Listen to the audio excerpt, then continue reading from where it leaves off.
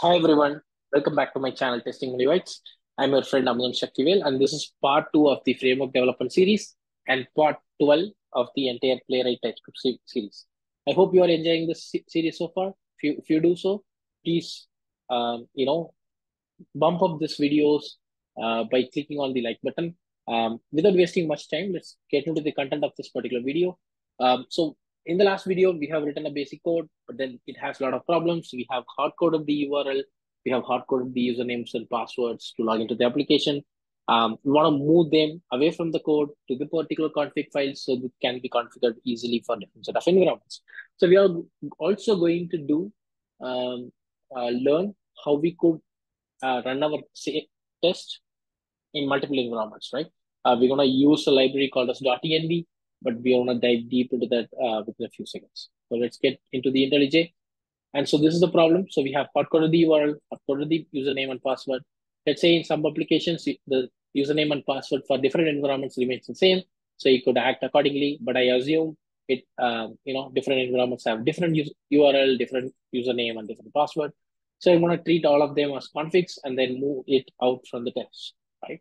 Very, very simple. In case of Java, we normally prefer using property files, but then it's it's much of a tradition or, or convention to use .env files in case of TypeScript and JavaScript ecosystem. So, so what we're going to do is we're going to create .env files. It's much similar to the config files. We have a key value pairs um, stored inside this, and then we load them into a, process environment variables and then use it in our test. So it's going to be much easier than, than what we normally do in Java. Uh, let's get started. So for the first thing we want to do is move this away from the uh, code. And for that, I want to create a new uh, variable like this. And then um, I will copy this particular URL and I'll put it here. Uh, yeah, username, password, so looks good. I moved this here, but then I want to load this env, en, content from the env files into the process environment variables. Right. In order to do that, I want to have a library uh, called as uh, .env. There are multiple wrappers available for the .env. Um, like we have .env, .env CLI, .env TS type TypeScript ecosystem, and there is .env Vault, um, and then much, much more than that. So in, in our case, we're going to use .env, and we will see how we could uh, use other wrappers uh, in the coming videos. But for now, we'll, we'll start with small steps. We install install.env could also verify in the package.json, uh, there is a package here, all right? Now let's go ahead and remove this and use process.env uh, and then use dot .url. So whatever the name that you have given here, you have to just use it there. Uh, similarly, uh, process uh, uh, dot env dot username. I know this is this is not the right way to directly use process env um, variables, but then we'll just start from small steps. Uh, password, right? And yes, all looks good. Let's go to the playwright config.ts. Again, guys, whenever the playwright scripts get started, um, we want to do the first thing. The first thing is loading the env files into uh, process environment variables. In order to do that, you just need to do a config. That's it. And now you just import this config from .env. So what it does is uh, you can also set um, paths. For example, there are multiple options like this. Um, you can um, set the path. You can override the existing ones. You can, if you are using .env vault, which is which is good if you want to store secrets and then retrieve it at the runtime. You can also use the dot, dot env key. You can pass it from here. But then in our case, uh, we want to pass the uh, path to dot env. In our case, it's just this, and we don't have to do anything, right? So this is you can add this, but then by default also it, it will load the dot env if it present present in the root folder. So we don't even have to mention it, right? So now uh, cancel, and I want to remove just this. Right. Good. This is more than enough. Let's try to run the test and then see what happens. So npx playwright test. So it picked up the URL uh, from the from the config, and that is what we want, right? So now this looks good, right? But then we want to handle multiple environments. We want our test to run on multiple environments. It is also much easy. Let's go ahead and create a new env file. So, so the logic is this, create a new env file for each environment and name it with the environment env stages. And then if you also want to have something for development, you can also create one more file env development or dev whatever you want to call it, you can call it and then put it here. In our case, let's copy all the content from here. Let's paste it here. And uh, I'm gonna use an invalid username so that we know um, it is picking from the staging file, right? For now, I don't think this is needed. So let's remove this. Um, we have env, which will be the production URL, and then dot env dot staging, uh, which will be the staging URL. Yeah. So now I also want to tell playwright config because if you don't tell it, it will automatically load .env files. It won't uh, really know that it has to load staging uh, here. So what I want to do is uh, I want to apply a condition. So I want to pass a new variable, uh, environment variable called as environment. If it has some values, what I want to do is I want to load, maybe it's suggesting, okay, so it just prints what is the environment that we are running the test, and then it loads dot env dot the environment. So if you're passing the environment as staging, it's gonna you know pick that particular file. So we pass environment as staging, it is going to pick dot env dot stage, right? As simple as that. Else, right? Else, um, it's going to do the default dot env file.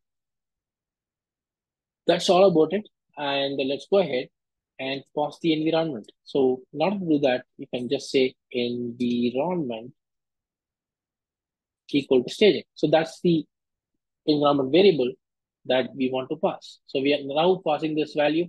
So this will become truthy and it goes inside this and loads the staging uh, env file, right? So let's go ahead and do npm playwright test. Let's make a header. And then this time the login should fail because we have given invalid credentials in the staging file. So yes, the login failed and it picked the right env files for processing. You can also see the environment that we passed is staging. Good, all looks good here, but then the only problem is we are using process.env.url everywhere in the code, which is not so good. One main reason is, let's say you want to, let's say this is undefined, let's say if URL is undefined, and then you want to set some default values to it. You cannot do it in all the places, right? And it is also not a good practice to directly use process env files because we do not know uh, what could be the values for them, right? You cannot really control uh, the values uh, properly. So it is always better uh, to, to have some kind of configurations. Uh, there are multiple ways how we could solve this. Um, and then the first way, what I'm going to do is I'm going to have a folder called as framework config, or we can also call it as config.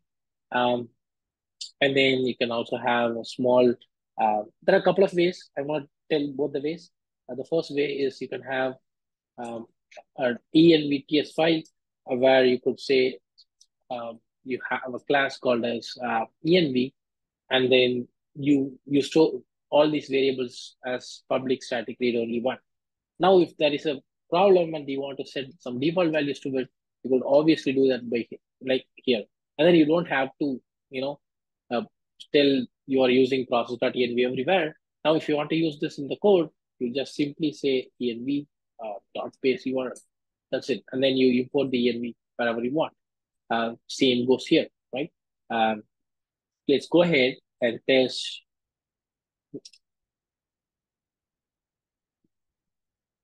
Yeah, everything looks good, right? So it fails, all looks good. Um, there is also another way that you could try, uh, but then I would recommend using this approach. But then you could also say, um, so TypeScript and JavaScript is very natural to JSONs. So what you could do is you could do something like this, and then if there is a problem, you could you could do this, right? That's obviously the another way of doing this. But then I prefer the this way uh, there is no right and wrong here. Um, you know, it's up to you. How do you want to do it? Um, yeah.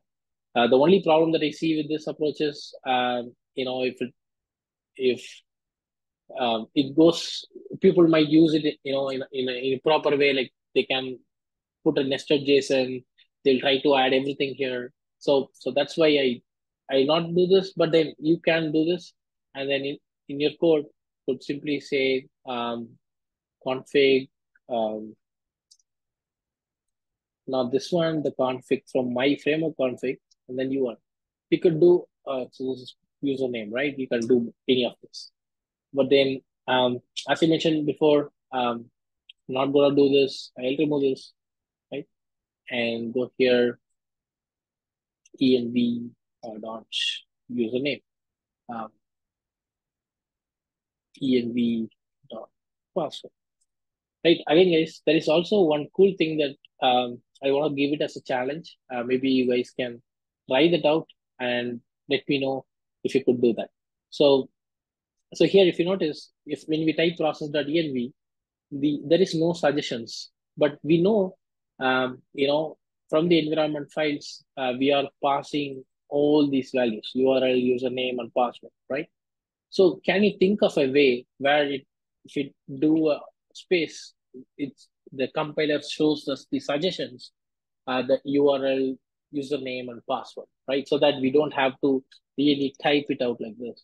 Let's say people can also type username and make a mistake uh, because at the right time it will it will give you undefined error, which is problematic. So, is there any way that you could think of solving this problem with auto population? Like TypeScript, TypeScript is all about bringing types to the JavaScript ecosystem, right? So we want to bring that uh, life and breath into the uh, JavaScript world, right? So think about it. If you can do it, awesome. Otherwise, I'll I'll touch base that topic in the next video uh, a little bit. But this is not really important. If you're a beginner, it doesn't really matter. You can start with this and then continue further, right?